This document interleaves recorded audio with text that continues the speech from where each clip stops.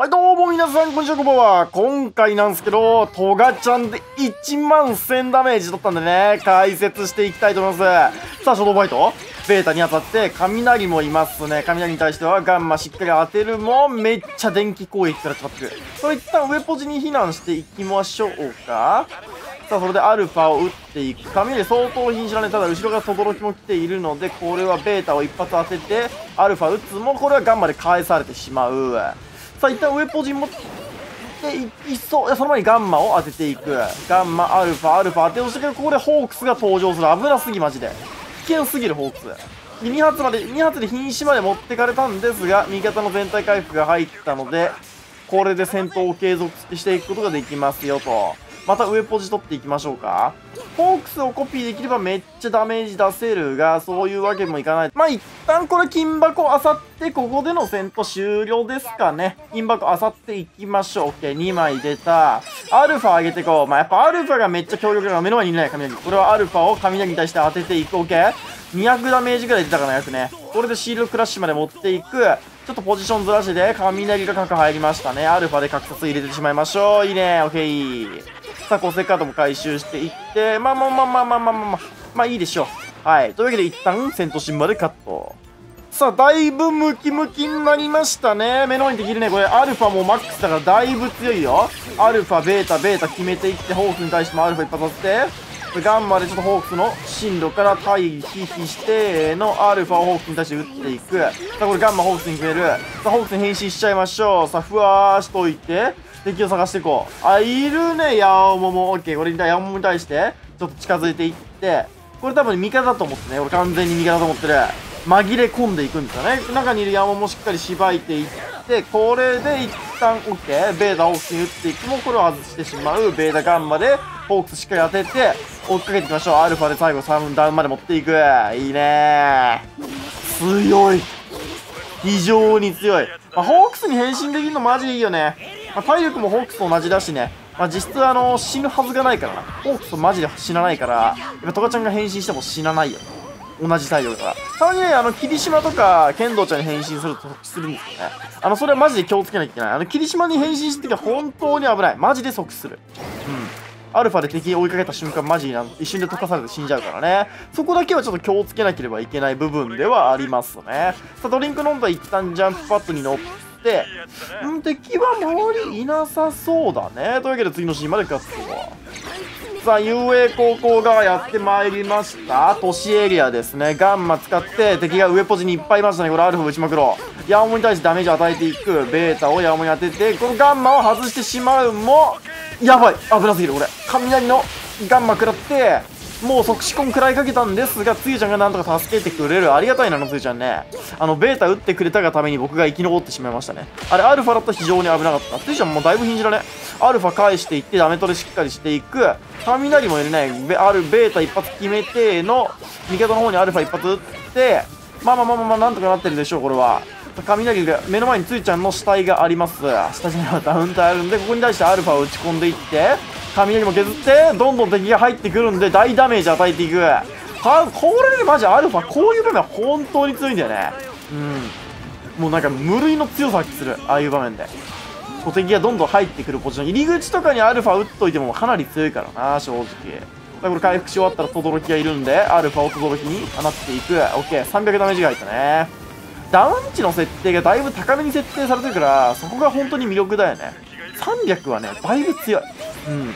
マジでだいぶ強い。2回敵に対してダウンさせたらもうそれで勝てるからな。うん。しかも範囲も広いし折り返しで来るから回避しても避けきれない。完璧には。回避しても多分200ダメージぐらい食らっちゃうからそこがねかなり痛いなと思いますね。で敵と敵同士がやり合ってるところにアルファ敵と打つだけでめっちゃダメージ入る。そしてもちろんクールタイムキャンセルで全てを元通りにしていくと、まあ、ベータ打ってだいぶダメージ入ってるよ俺は。アルファ打ちまくってこうか。OK ここに対して大ダメージ与えて。まだまだ敵周りいっぱいいるね。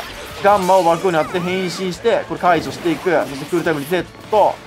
まあ、クールタイムリセットが非常に強力ですね。ベータ、ベータ1回決めていって、アルファ一発打って、これ爆豪死んではいないかな。一旦これ上ポジ取っていきましょう。これアルファを味方の方かばいって、しっかりと驚きに対してダメージ与えていって敵もね回復時間あると思うんでここはなんとかなりますよねベータガンマを決めて変身そして変身解除クールタイムにセットして、まあ、ちなみにダメージ全然食らってないよねうん、それもね、トガちゃんのいいところなんだよね。上下の動きが激しいから、敵も捉えきれてない部分がすごい多いよね。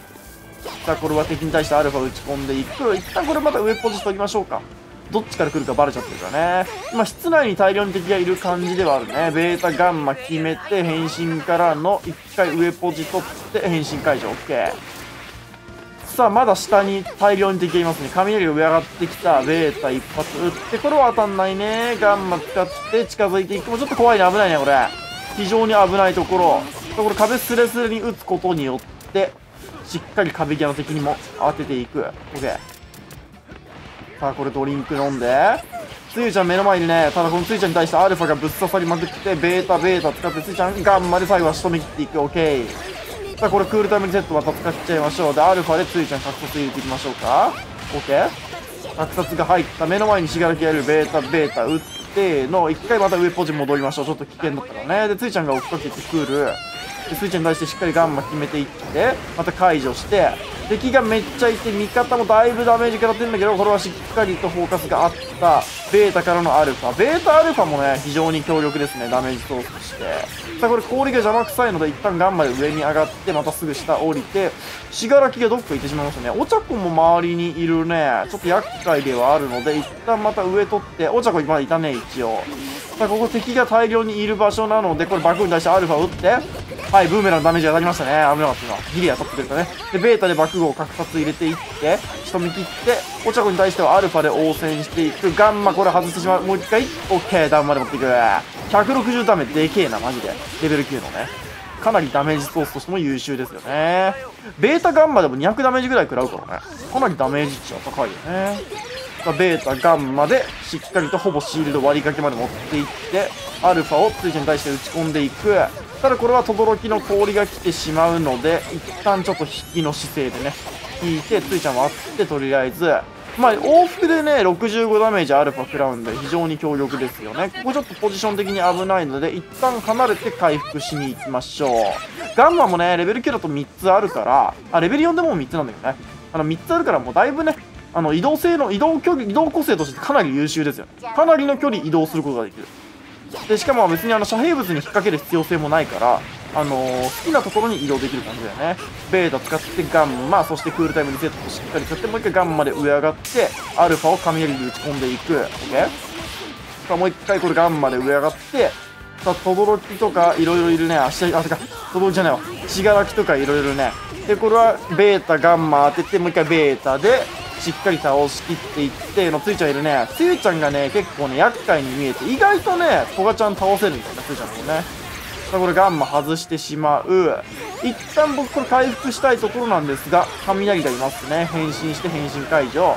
OK クールタイムリセットそしてアルファを往復することによって最大限ダメージを出すことができますよね。で TWICE がちょっと死にかけちゃってるから不安なんだがこれなんとかカバーいければいいね TWICE は死んじゃいましたね。